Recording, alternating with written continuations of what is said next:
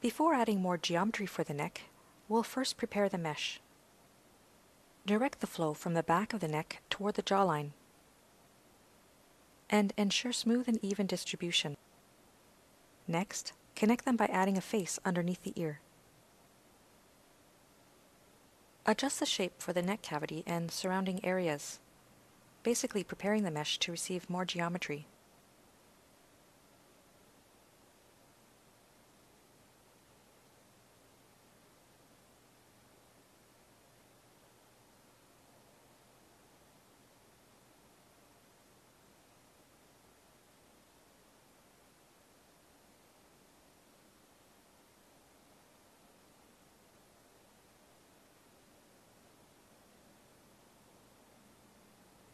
Extrude these edges down and connect with a face.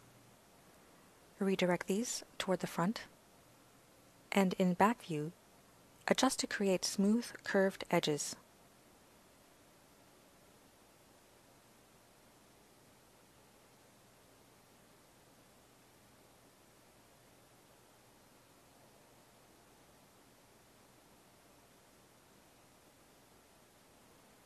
Select the entire edge loop and extrude down. And adjust the shape using both views. These vertical spans at the side define the neck muscle. This muscle is angled to flow from behind the ear to the front base of the neck. In back view, distribute them evenly outward, preparing the mesh for more edge loop cuts in the middle.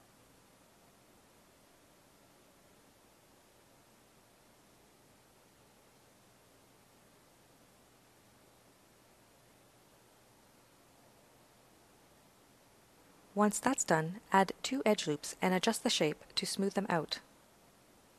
Line them up to match the reference images.